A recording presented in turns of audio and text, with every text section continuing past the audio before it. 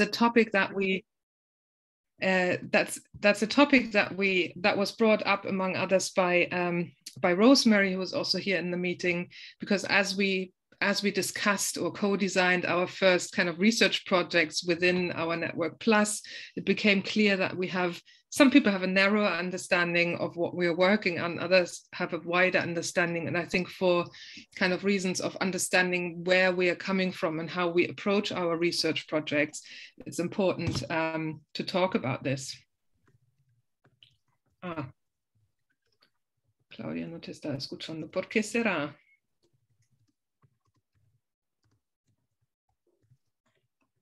Sí. Okay, I can speak in the in kind of the general channel. Is that better, Claudia?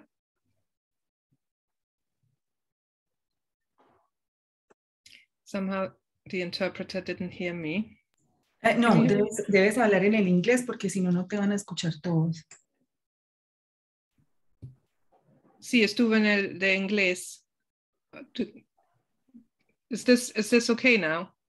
I was in the English channel.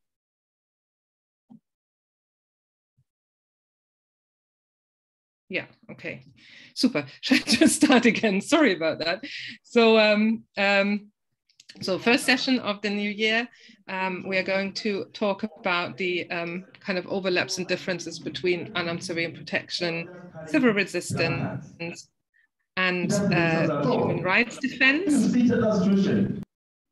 um, to clarify where we are coming from um, uh, on these topics in our research. So we are really happy to have Christina here today because Christina has so many different experiences with unarmed civilian protection. Um, on the one hand, Christina works, um, among other things, for the Federation for Social Defense in Germany and also has been working with the Institute for Peace Work and Nonviolent Conflict Transformation in Germany.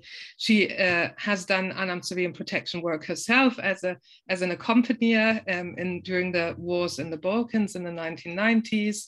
Um, she has been working with Nonviolent Peaceforce um, quite a bit, so kind of has really looked at this topic from very many different perspectives. And she's also an academic who looks at these questions um, in her research. Um, so Christina, I just hand over to you. If I've forgotten anything crucial about your CV, please add yourself. Um, and otherwise the, the floor is yours. Thank you. No, I don't think you've uh, forgot anything important. I would like to share my screen and perhaps the interpreters could tell me if they understand me. I'm also speaking through the English channel at the moment understood there was a problem.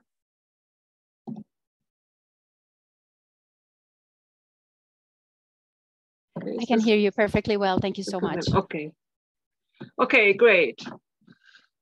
So then let me start. Um, I was told I would uh, have about uh, 20 minutes. And so what I'm trying to do is that I look at these three different fields, so which I just will call now unarmed civilian protection. And if you use other terms for it, like civilian peacekeeping or accompaniment and so on, then just please translate it to UCP or UCP to your term.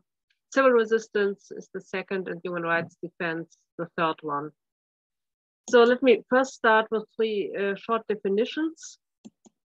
Um, so unarmed uh, UCP, unarmed uh, civilian protection and so on, uh, refers to the protection of civilians from violence and conflict situations for unarmed civilians. These are present locally and use a variety of tools to prevent violence and protect people.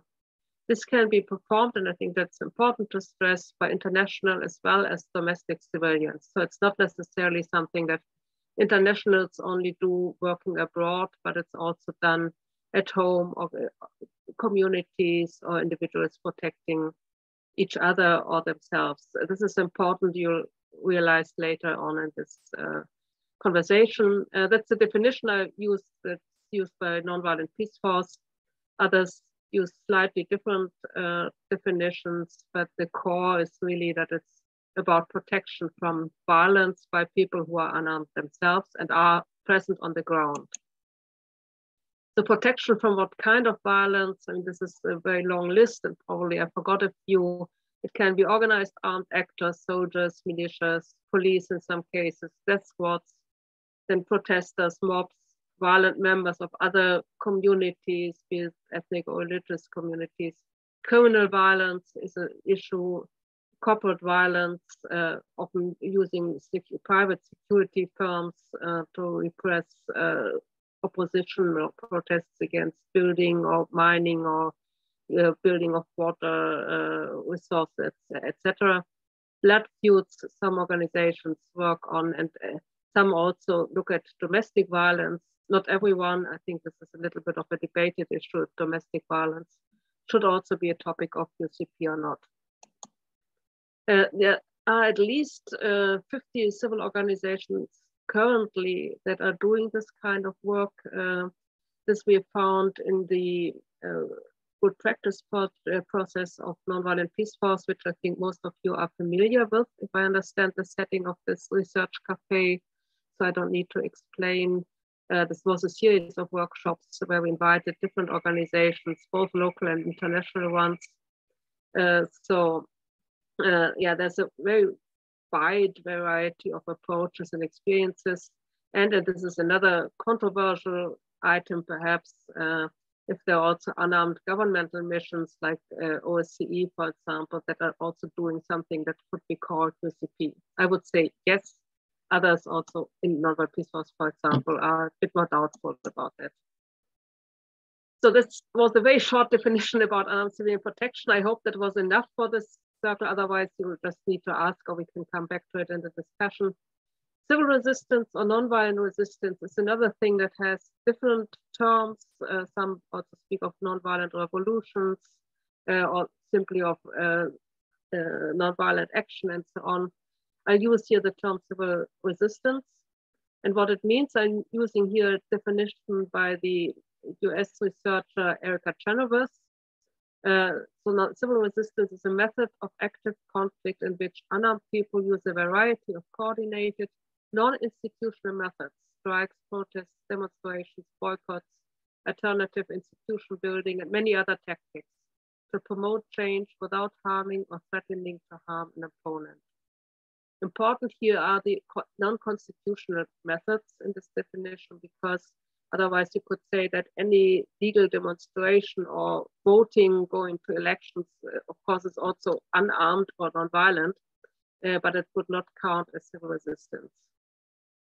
What needs to be distinguished in my eyes, and it's sometimes not really from me not reflected well enough in the literature, is that uh, there is resistance on the one hand involving the whole society. So Professor Chenoweth and Stephan uh, distinguished regime change, secession, and social defense or uh, resistance against, uh, uh yeah, against, uh, oh God knows the word is missing. Uh, so when you're against occupation, I think they use another term. so this is the whole, where the whole society is somehow involved. But then you also have nonviolent action to change certain projects or policies or programs or remove certain politicians, uh, but without questioning the fundamentals of the current regime.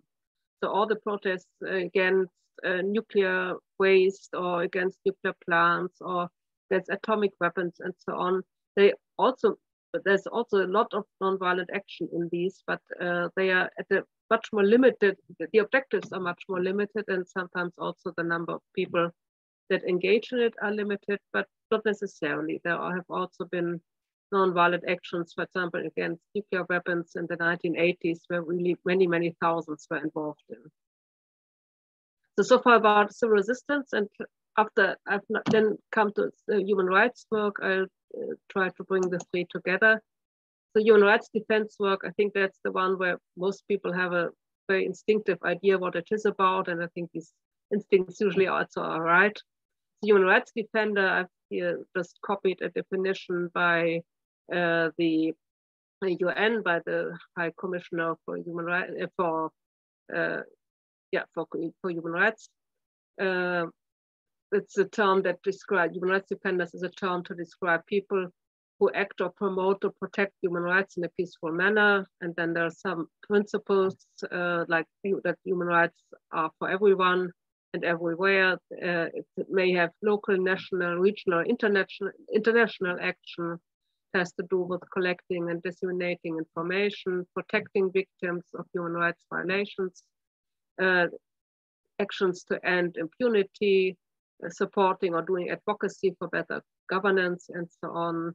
Uh, then the implementation of human rights treaties is another topic. And then, of course, human rights education and training, both with uh, children but also with adults, is also a very important fact.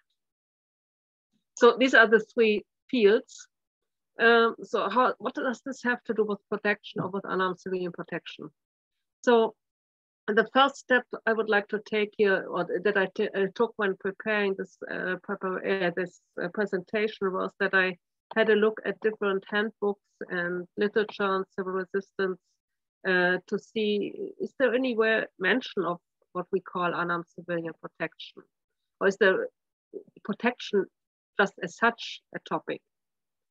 So I found in the regard to human rights work uh, that there are many web pages and handbooks, and probably you also, at least those of you who are active in the field, will be familiar with one or the other uh, about how what human rights defenders do, how you do your documentation, and so on. But there's also usually uh, the question of security and how to protect yourself and your data and so on as part of these handbooks.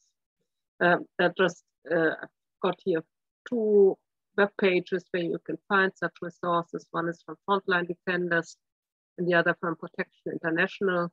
Uh, both have published a number of handbooks themselves. And in the first uh, from Frontline Defenders, you will also find uh, handbooks produced by the UN, by the European Union, and many, many other people who are doing these kind of handbooks. These manuals are usually dealing with self-protection. So they give advice how to how to protect yourself. I've almost nowhere found uh, unarmed civilian protection or protective accompaniment mentioned in these handbooks, with a very few ex exceptions, and then only usually in a few sentences. Maybe I overlooked something. I cannot claim that I've looked at all the material that's available, but I have not found any handbook that says, well, if you are a human rights defender organizations uh, organization and you are threatened by death squads, consider asking this or that organization to organize protective accompaniment, which might be useful advice. Although, of course, maybe the uh, it's not that easy if you are such an organization then to really convince another protective uh, an organization active in protection really to come to you. That's another question given the limited resources. But it's um, you can find uh, uh, yeah maybe you find it mentioned, but I, I couldn't really find anything. Then okay, there's also there's something one handbook about protection from afar, which I was involved uh, with in writing about.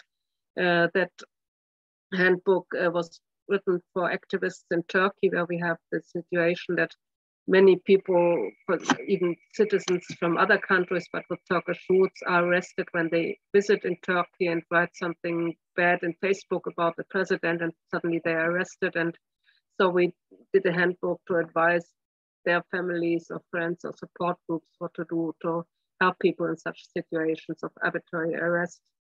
Um, this is also not of UCP as such, because UCP, one element of UCP is that you are on the ground, and that's not the case in Turkey.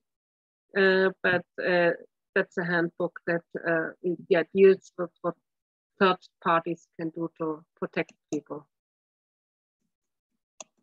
Okay, so let me come to the next, uh, to civil resistance and nonviolent action. There are also many handbooks uh, written mostly by some organizations uh, that are advising, giving training, doing research on civil resistance. Uh, one is the International Center for Nonviolent Conflict.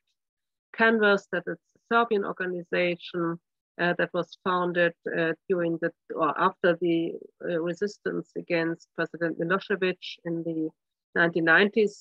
2001, Milosevic uh, was toppled, and then this organization was founded. The Albert Einstein Institution uh, is the institution that was founded by Gene Sharp. Maybe one or the other of you have heard his name for his basic research on nonviolent action. They also have, they're still existent. Gene Sharp himself, himself doesn't live anymore, but they are still active and produce also, or at least uh, link new materials. Nonviolence International is another international organization with a page on resources. War Resisters International is a nonviolent anti-militarist network that also has some resources on civil resistance. There are many handbooks, uh, training handbooks, uh, and etc. And at least some of them address the issue of self-protection and how to deal with massive violence, at least a little bit. Uh, what uh, unarmed civilian, uh, what concerns unarmed civilian resistance, as uh, protection, sorry, that's rarely mentioned in these resources, uh, with one exception, that is this monograph that you can see here, that's written, I think, also again by Erica Chenoweth.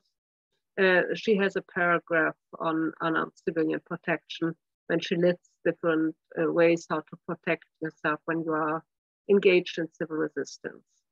But basically, the picture is not that much different from the picture on human rights defense. While threats, security are big issues, obviously, unarmed civilian protection has not really fully entered the literature on these in these fields uh, as much as I think it might deserve. I come now to the comparison. So that's the third step after having introduced first these three uh, things, so civil resistance, UCP, and human rights defense, and then looking at what role protection plays. So these are now, that's a page now showing commonalities and differences between uh, the three issues that I could think of, and perhaps, in, or probably in the discussion, we will find more elements or, or maybe you also have concerns about some of the things. Human rights as to goals, I would say for human rights work, the basic goals are to prevent human rights violations, to protect from human rights violations, and to restore justice.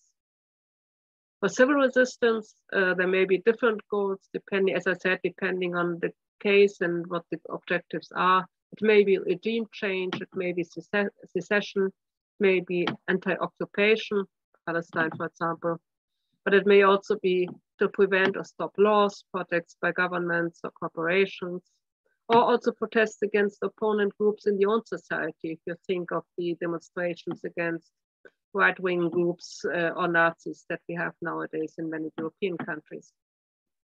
As to unarmed civilian protection, I would say the basic goals are to protect civilians, that's the terminology some organizations use, or activists or communities. And of course, also to prevent violence.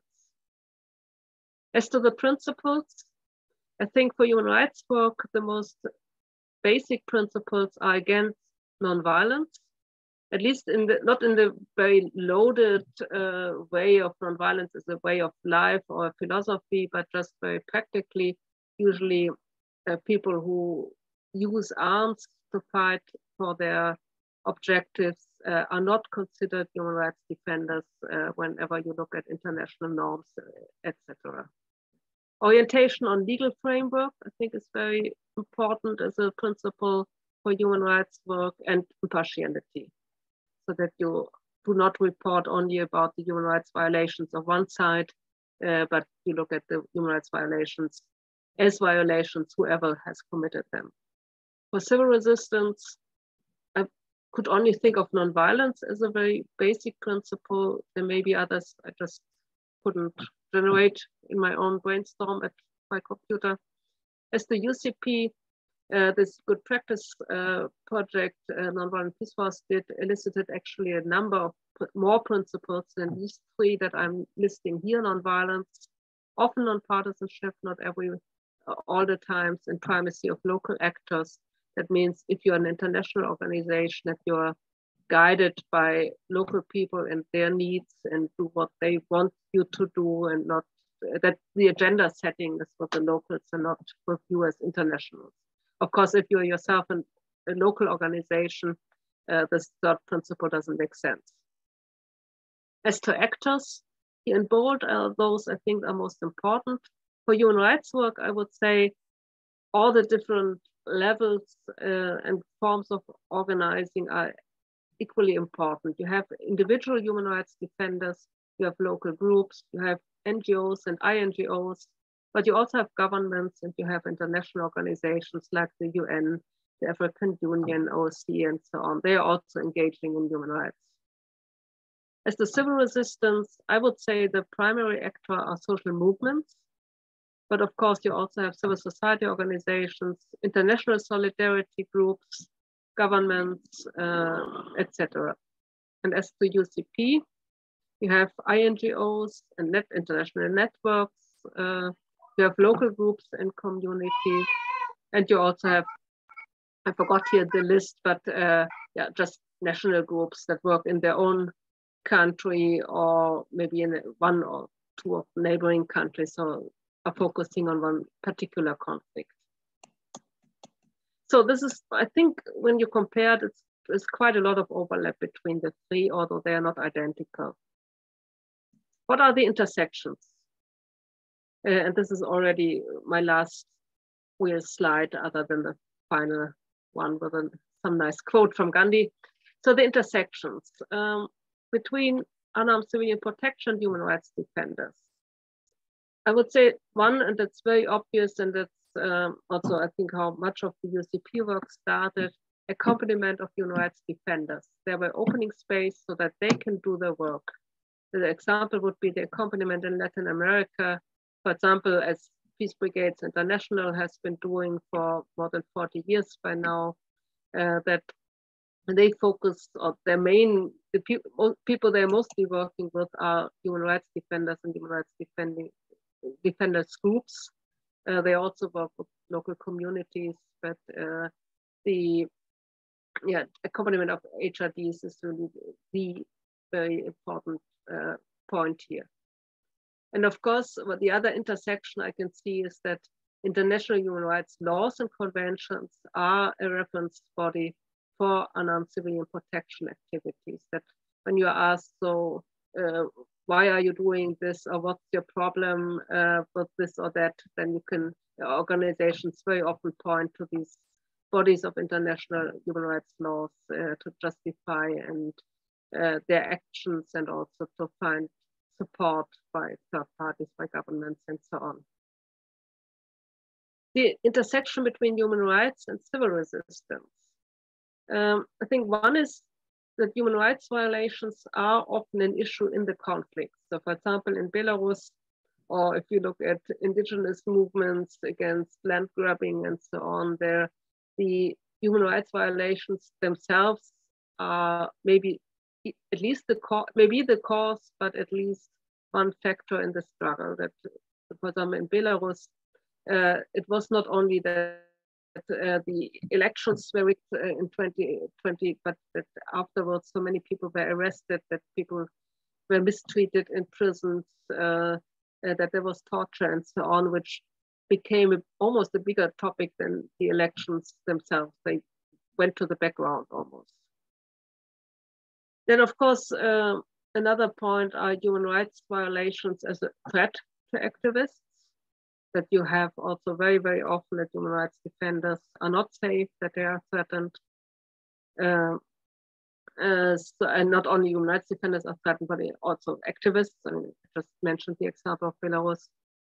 And then sometimes also that documentation of human rights uh, violations is used to win international support. I remember, for example, a human rights organizations in Kosovo uh, that is a at that time was a province uh, of the former Yugoslavia in Europe in the 1990s. There was nonviolent resistance and there was uh, one group that documented human rights violations and they whenever you came as an international visitor to their office the first thing you had to do was to look at pictures they had taken from people who had been uh, beaten up by the police. Uh, this was well known, and not everybody who visited them was very happy about these uh, pictures, but uh, you had to go through this uh, ritual almost before you really could sit down and discuss on what to do. So, this is often also one element of human of civil resistance that human rights violations documentation is uh, used for this purpose. Unarmed civilian protection and civil resistance. Um, monitoring, escorting, mediation, documentation, all things that unarmed civilian protectors do in cases of civil resistance movements. There is a difference, and I mentioned already this issue about nonpartisanship, that this is not for everyone a big principle. Uh, you have organizations that are very clear that they stand on the side, that they watch, for example, police behavior to see if there are human rights violations, but uh, they do not in any way engage or but is are very careful not to be seen participating in the civil resistance, while other organizations understand their work a little bit different. Uh, for example, Christian peacemaker teams, for them, the central term is to undo oppression, as they call it, and they would not hesitate also to be in a demonstration unless there are other practical reasons not to be not to do so. Uh, so, this is this point about the challenge to organizations with a nonpartisan approach that uh, how to keep apart and still be useful and still be uh, serving this purpose of protecting people. General, I think for all these all the three ones, um, of course, there's unarmed civilian protection by local communities. So when they do it, it doesn't even really matter if they uh, would say we are primarily engaged in civil resistance or engaged in human rights defense or just uh, trying to be a zone of peace uh, and to stay out of war. Uh, in that case, there's really a very strong overlap, and I think it almost cannot be distinguished from what I described earlier as the methods of protection. No, I didn't describe it, but I mentioned that there are these all these methods of protection by local people for their own work. And the other general thing is that actors of unarmed civilian protection offer trainings uh, in self-protection measures. I know that I think maybe not everyone, but most of the organizations that would count as USDP organizations are engaged in such trainings for at least two reasons. One is uh, to have to do, be sustainable in their efforts so that uh, it doesn't protection doesn't depend on the presence of the international maybe international organization that but people can continue uh, also after the internationals have left uh, so as a measure of an exit strategy or for a case that uh, the security, security situation deteriorates so much that internationals are not allowed anymore. Uh, or just as a very principled thing that it's uh, they try to uh, seek just they see the local communities have developed already things and maybe we can support them to do this to even develop some more tactics or better tactics and so on so that's already the last was the last real slide um, i like this quote by gandhi uh, so uh, he said, we are constantly being astonished these days at the amazing discoveries in the field of violence, but I maintain that far more undreamt of and seemingly impossible discoveries will be made in the field of nonviolence. And I think as in regard to unarmed civilian protection, this certainly is also true now 60 years after he said that, because I think there are many possibilities to link unarmed civilian protection to these other fields, to civil resistance, to human rights defense, that have barely, I mean, I think UCP actors might be aware of it, but from the other side, I think there is still uh, a long way to go, maybe. Thank you.